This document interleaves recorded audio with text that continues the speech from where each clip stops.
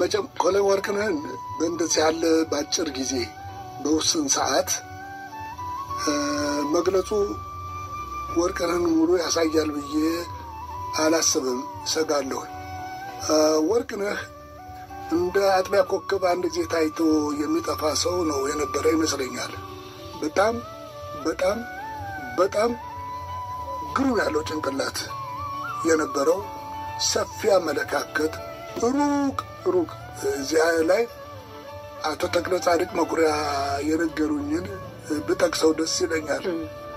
ኮይ ወርቅነህን እንዴት ያዩት ነበር ብዬ ስላቸው አሉና በሁለት እጃቸው ራሳቸውን ይዘው ወርቅነህ እኮ የዚህ ሀገር ሰው አይደለም አሉ።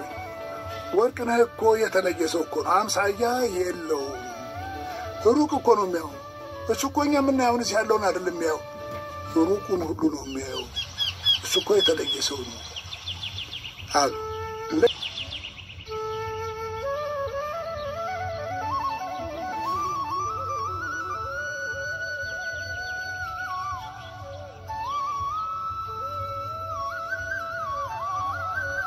ለእኔም ለእኔም አሁን ምንም አቻ አላይለትም፣ አላገኝለትም።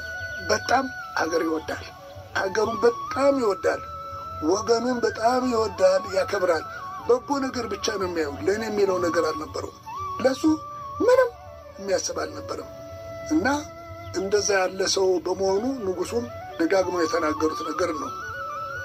ጥሩ አጋጣሚ ነው አንተን ያገኘንበት መልካም አጋጣሚ ነው አንተን ያገኘንበት የሚሉት። አንድ ሁለት ጊዜም ተጣልተዋል፣ አኮርፈውታል፣ ገፍተውታል። ግን ወርቅነህን የሚያርቁት የሚገፉት ሰው አልነበረም። የሚያቀርበው ሀሳብ፣ የሚያደርገው ነገር የተለየ ነበረ። እንዲያው በብዙ ሰው ብዙ ነገር ተሰራና ረዳት ሚኒስትር አሉት በሹመት ስልጣን። ህዝብ ብዙ ቀራቢ የአፄ ኃይለ ሥላሴ ቀራቢ የሆኑ መኳንንት መሳፍንቱ ኧረ የለም ይህን ሰውዬ ከሀገር ቢያስወጡት ነው የሚሻለው፣ አምባሳደር አድርገው የላኩት አሏችሁ። እሳቸው ደግሞ ጥቅማቸውን ያውቃሉና ማድረግ አልፈለጉም። እንግዲህ ወደ ጦሩ ይግባ፣ መከላከያ ይግባ። ኦሮክ ልታስገለብጡን ነው? አይሆንም አሏቸው። የሚያደርጉትና ያጡት ንጉሱ በጣም ስለሚያቀርቡት በጣም ስለሚሰሙት ደግሞ መኳንንቶች እሳቸው ቀራቢ መኳንንቶች ደግሞ ይችን ነገር አልወደዱ ነበረ እና ወርቅነህ ያስተውላል፣ ልብ ብሎ ይሄዳል። ተፈጥሮም ትልቅ ጸጋ የለገሰችው ሰው ነው። ያስተውላል፣ ይመለከታል። ችኩል አይደለም፣ ቁጡ አይደለም፣ በእርጋታ ነው ሁሉም ነገር የሚያየው።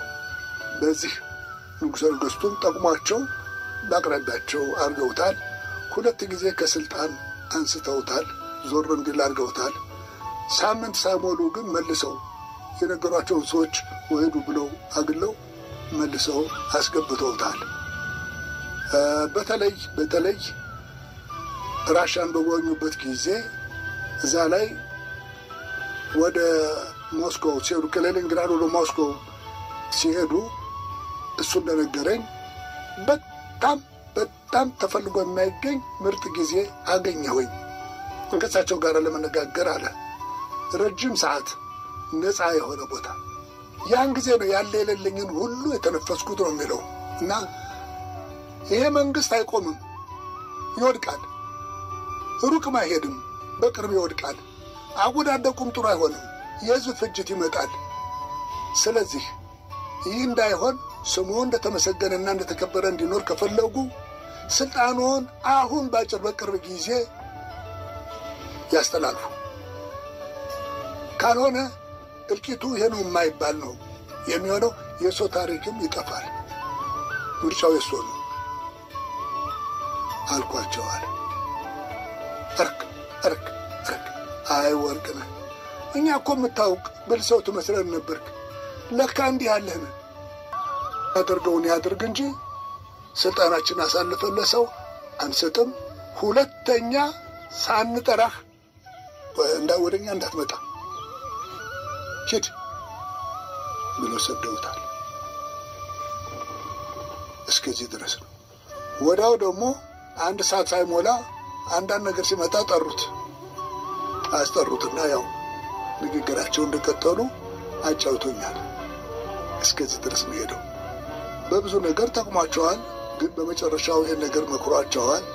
ይሄ አልሆን ሲል ነው ወደ መፈንቅለ መንግስቱ ለመሄድ ወደ አድማው የገቡት።